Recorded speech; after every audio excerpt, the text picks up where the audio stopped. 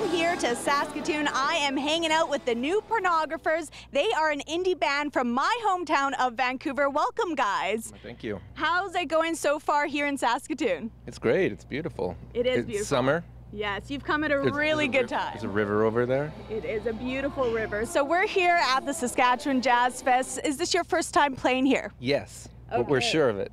We're sure of it. so let's just talk. You've played many live shows. Uh, what is that experience like getting out in front of the stage in front of all those fans?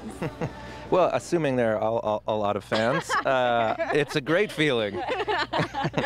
That's awesome. And Kathryn, how about you? What's the experience like? Oh, I mean, you know, I don't know. You get up in front of a bunch of people. Um, I used to be nervous doing it, but I'm not nervous anymore. I think partly with this band because we have so many of us on stage at one time. Sometimes it just feels like playing to me, especially when we play it. It's like sometimes we play a festival where there's just a built-in audience. There are people that are there to see you, but there's this massive group that are just there.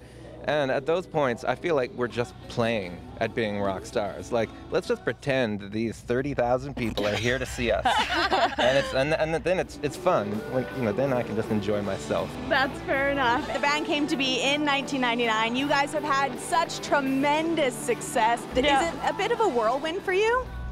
Uh, um, yeah, you know, uh, yes and no. I mean, again, like I said, it's been 10 years, and um, and definitely initially when I first joined, it was like, what is happening? You know, it's like this is insane. Because I came from a little band, you know, and all our, my experience had been cross country tour, you know, so like we came to Saskatoon a bunch. You know, you know it's, it's a funny, interesting thing. In a couple of weeks, we're playing in Brooklyn at Prospect Park, this big outdoor show, and we did the same show 10 years before. Like literally 10 years before, almost to the day. And that was one of Kathryn's first shows with us. So it's sort of like this really nice, sort of like 10 year. And it was the first night I hung out with the girl that would become my wife. Aww. So it's a it's a very it's so this show coming up is sort of a, a momentous uh, 10 year anniversary. Before we wrap up, guys, what is in the works for the new pornographers in the future? Fill me in. I don't know more, more music, I guess. Uh, I've been working on some demos for new things, so hopefully that turns into a record at some point. We'll play more. We're, we're- we're just like we just go where we're told. We just people offer us things and we go, sure, we'll do that.